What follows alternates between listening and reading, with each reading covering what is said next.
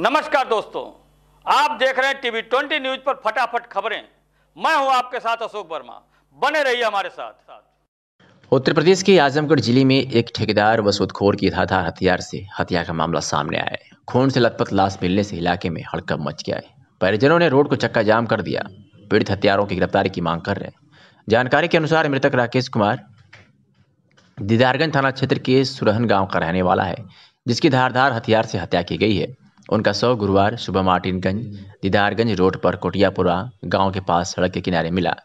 उसके शरीर पर कई जगह जख्मों के निशान मिले हैं, जिनसे लग रहा है कि उस पर धारदार हथियार से हमला किया गया था। शरीर से खून बह रहा था, जिस कारण शव खून से लथपथ पड़ा हुआ था। मृतक ग्राम प्रधान हेमलता सिंह के परिवार से संबंध रखता है। इस वजह से मर्डर, मिस्ट्री और गहरा गई है। ग्रामीणों की सूचना पर परिजन और पुलिस मौके पर पहुँच गई पुलिस ने आरोप आसपास मौजूद घटनास्थल का मुआयना किया और शव को कब्जे में लेकर पोस्टमार्टम के लिए भेज दिया है। पुलिस ने मौजूद घटनास्थल पर लोगों से पूछताछ की है। राकेश खेती किसानी के साथ ब्याज पर पैसा देने का भी काम करता था। आशंका जताई जा रही है, इसी विवाद में उनकी हत्या की गई है।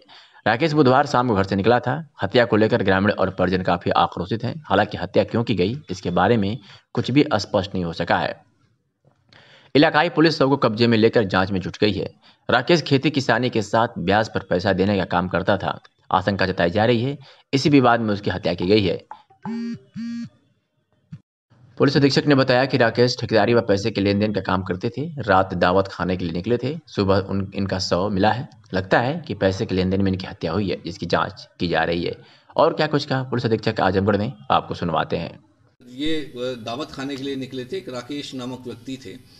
और निकले थे दावत खाने के लिए और जब सुबह इनकी लाश पड़ी मिली है, इस संबंध में लाश को मोर्चरी भेजा गया है और इस संबंध में मुकदमा पंजीकृत कर कार्रवाई की जा रही है। निश्चित रूप से क्योंकि ये कुछ कार्य पैसे का लेन देन का भी करते, ठेकेदारी का भी करते थे तो निश्चित रूप से कुछ इनके लेन देन का, जैसा कि अभी तक प्राइमरी इनपुट है लेन देन का इनका झगड़ा रहा होगा। और उस संबंध में सारी जानकारी की जा रही है और बहुत जल्दी केस को वर्कआउट किया जाए। नहीं देखिए ये जो डेड बॉडी मिली है इसकी इसकी बॉडी मोर्चरी भिजवा दी गई थी और अभी जब पंचायतनामा भरा एफ़ आई आर लिखा है पंचायतनामा भरा जाएगा तो फिर सारी चीज़ें क्लियर तो जब भी लॉ एंड ऑर्डर की समस्या होती है तो पुलिस डेड बॉडी को वहाँ से उठाती है और पंचायतनामा कोई ज़रूरी नहीं कि मौके पे ही किया जाए।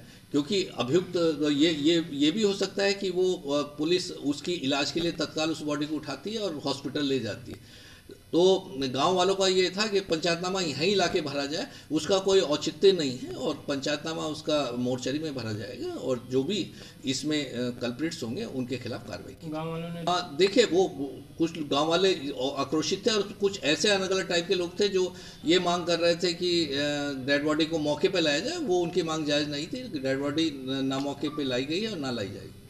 देखिए उन लोगों को समझाने बुझाने का काम किया जा रहा है बहुत जल्दी उसे खुलवा आजमगढ़ में आयुष्मान भारत प्रधानमंत्री जन आरोग्य योजना तकनीकी चुनौतियों के कारण पात्र लाभार्थियों के लिए एक दूर का सपना समान दिख रहा है। चार हज़ार एक सौ छह गाँवों के लिए मात्र सत्तर कॉमन सर्विस सेंटर की मात्र सोलह दिनों के अभिमान अभियान में पाँच अट्ठावन हज़ार तैंतीस लाभार्थियों तक पहुँच पाना एक कठिन कार्य है। जिसमें गाँव में नेटवर्क की समस्या, आधार के सत्यापन में अंगूठा निशान का ना मिलना बिजली की समस्या, बनवाने हित रुपए की कमी, दस्तावेजों में नाम का मैच न करना और पूर्व में पंजीकरण के पश्चात अब तक प्रमाण न मिलने से लाभार्थियों में नाराज़गी आदि के कारण से प्रतिदिन गोल्डन कार्ड लक्ष्य से कम ही बन पा रहे हैं। विदित हो कि शासनादेश के आधार पर स्वास्थ्य विभाग द्वारा ज़िले में 16 दिनों का विशेष अभियान चलाया जा रहा है। इस अभियान में स्वास्थ्य विभाग के कर्मचारियों के साथ ही साथ सामाजिक संस्थाओं का भी साथ मिल रहा है। लेकिन तकनीकी कठिनाइयों के कारण से 16 दिनों में लक्ष्य को पाना कठिन है। सामाजिक संस्था रोसा संस्थान के सचिव मुश्ताक अहमद ने जनहित में मांग किया कि जब 70 कॉमन सर्विस सेंटर के माध्यम से ही गोल्डन कार्ड बनाना है तो इस अभियान को 31 दिसंबर 2020 के बजाय 28 फरवरी 2021 तक चलाया जाए, ताकि तमाम कठिनाइयों को झेलते हुए गोल्डन कार्ड के लक्ष्य को पूरा किया जा सके। पुलिस अधीक्षक जनपद आजमगढ़ सुधीर कुमार सिंह द्वारा अपराध नियंत्रण तथा वांछित इनामिया अभियुक्तों की गिरफ्तारी तथा अवैध असलाहों की तस्करी पर प्रभावी नियंत्रण हेतु चलाए जा रहे अभियान के दृष्टिगत बिलरियागंज पुलिस ने दुष्कर्म कर वीडियो वाल करने वाले अभियुक्त को गिरफ़्तार किया है। आपको बता दें कि बिलरियागंज थाना क्षेत्र के गाँव की वादनी ने लिखित तहरीर दिया था कि मेरी पुत्री को गाँव के हरिलाल पुत्र भिरगु घर में अकेला पाकर कट्टा लगाकर खेत में ले गया, उसके साथ दुष्कर्म किया और उसका वीडियो भी बना लिया। और लड़की को धमकी दिया कि अगर किसी से घटना के बारे में बताओगी तो तुम्हारे भाई को जान से मार दूँगा और ये वीडियो सोशल मीडिया पर वायरल कर दूँगा। इसी भय के नाते लड़की ने किसी से कुछ बताया नहीं, अब तक चुप रही, लेकिन कुछ दिन पूर्व अभियुक्त द्वारा दुष्कर्म का वीडियो सोशल मीडिया पर वायरल कर दिया गया। इसके संबंध में थाना मुकदमा पर, थाना पर मुकदमा पंजीकृत कर पुलिस ने आरोपी को गिरफ़्तार कर जेल भेज दिया है। घटना के बारे में क्या कुछ कहा है एसपी आजमगढ़ में, आपको सुनवाते हैं। थाना बलेरागंज में एक युवती के साथ खेत में ले जाके एक बलात्कार की घटना हुई थी, दुष्कर्म की घटना हुई थी। उसके संबंध में तत्काल मुकदमा दर्ज किया गया और उसमें अभियुक्त द्वारा ये बताया गया था कि उसके द्वारा उसके जो चित्र हैं वो वायरल किए जाए, मुकदमा पंजीकृत गए अभियुक्त को तत्काल गिरफ़्तार किया गया और उसे जेल भेजा जाए। पुलिस अधीक्षक आजमगढ़ सुधीर कुमार सिंह द्वारा अपराध नियंत्रण तथा वांछित इनामिया अभियुक्तों की गिरफ्तारी तथा अवैध असलों की तस्करी पर प्रभावी नियंत्रण हेतु चलाए जा रहे अभियान के दृष्टिगत बिलरियागंज पुलिस ने मुठभेड़ में अवैध तमंचा, कारतूस तथा मोटरसाइकिल के साथ दो अभियुक्तों को गिरफ़्तार किया है, जबकि अंधेरे का फ़ायदा उठाकर इनके चार साथी भागने में सफल रहे। पुलिस अधीक्षक ने बताया कि क्षेत्र में अपराध नियंत्रण हेतु चेकिंग चलाई जा रही थी। इसी दौरान मुखबिर ने बताया कि कुछ लोग तीन मोटरसाइकिल से जम, जगमलपुर मोड़ के आगे सुनसान स्थान पर इकट्ठा हैं। ये लोग रात्रि में पिकअप के ज़रिए गोवंशीय पशुओं की चोरी छुपे लाद कर वध हेतु बिहार ले जाते हैं। इस सूचना पर थानाध्यक्ष बिदरियागंज में हमरा के जगमलपुर पहुँचा के थोड़ी देर बाद जगमलपुर की तरफ़ से तीन मोटरसाइकिल पर दो दो व्यक्ति बैठकर आते हुए दिखाई दिए। मोटरसाइकिल सवार व्यक्तियों को पुलिस बल द्वारा रोकने का इशारा किया गया तो पुलिस से घिरता देख उन्होंने पुलिस बल पर लक्ष्य कर जान से मारने की नियत से फायर कर दिया। पुलिस बल द्वारा प्रशिक्षित तरीके से अपना बचाव करते हुए दो व्यक्तियों को एक बार की घिर आवश्यक बल प्रयोग कर समय माफ़ कीजिएगा, आवश्यक बल प्रयोग कर इनको गिरफ़्तार कर लिया गया तथा चार व्यक्ति इनके साथ ही अंधेरे का फ़ायदा उठाकर मौके से भागने में सफल रहे। क्या कुछ कहा एस पी आजमगढ़ ने आपको सुनवाते हैं। थाना बिलेरगंज में पुलिस मुठभेड़ में दो अभियुक्त गिरफ़्तार किए गए हैं। दोनों के पास से एक चोरी की मोटरसाइकिल बरामद हुई है और एक दोनों के पास से असला और कारतूस भी बरामद हुए हैं।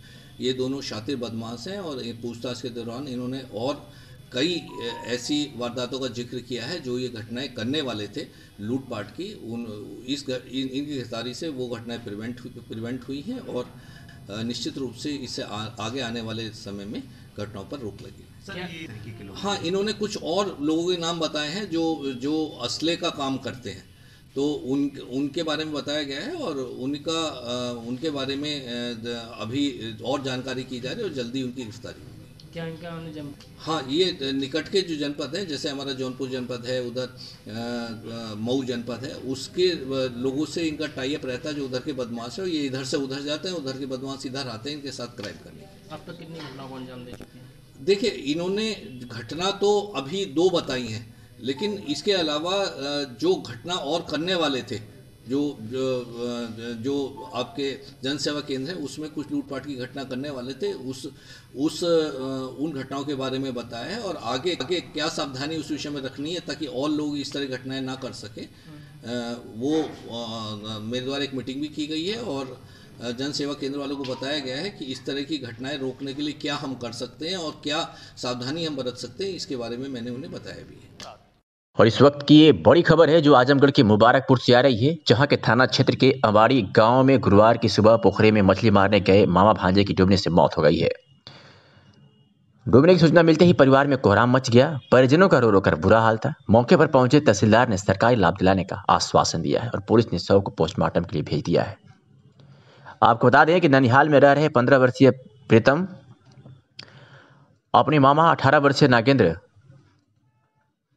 के साथ सुबह गाँव के पास सिक्स लेन की रोड बनाने के लिए गड्ढा खोद कर मिट्टी निकाली गई थी, जो काफ़ी गहरा था। उसमें मछली मारने के लिए दोनों लोग गए थे और प्रीतम का पैर फिसल गया और डूबने लगा, जिसे बचाने के लिए मामा नागेंद्र भी कूद गया और गड्ढा बड़ा होने के कारण दोनों डूब गए। आसपास के लोग जब तक दौड़ कर आते और दोनों को आन फान में बाहर निकाला गया और उपचार के लिए स्वास्थ्य केंद्र मुबारकपुर ले गए, जहाँ डॉक्टरों ने मृत घोषित कर दिया।